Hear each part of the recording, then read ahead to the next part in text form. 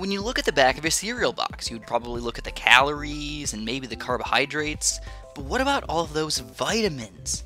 How many are there? Do we really need them all? First off, what is a vitamin? It's quite simple. It's a molecule that is needed by your body to function properly.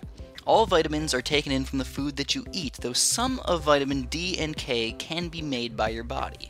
There are 13 vitamins which can be broken down into two very different groups the water soluble vitamins, which are all 8 of the B vitamins and vitamin C, and fat soluble vitamins, which are vitamins A, D, E, and K. The water soluble vitamins are taken up into the blood very easily. If your body has too many of these water soluble vitamins, it excretes them through the urine.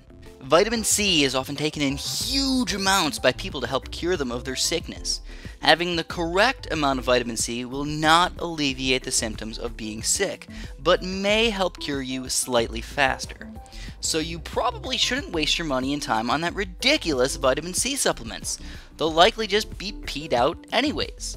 On the other hand, if you have a poor diet with a lack of vitamin C, eat an orange or more fruit every day while you're sick. The fat soluble vitamins are stored in your body's fat. You shouldn't be afraid of overdosing and dying on these vitamins, but you really shouldn't be taking extra of these because you can easily have too many of these vitamins. Your body cannot excrete them as easily and they can build up over time. If you have a healthy diet, most, if not all, the vitamins you need, you already get from eating the foods you would normally eat. All of the different vitamins are quite important. They can help with anything from immune health, building bones, clotting blood, absorbing other nutrients, and a lot of other important aspects of your life.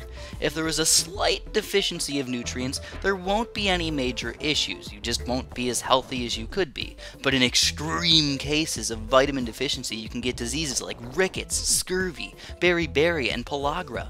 Hopefully now you know enough to look at the back of the cereal box and understand what all of those numbers mean. And as always, thanks for watching and have a super duper delicious day.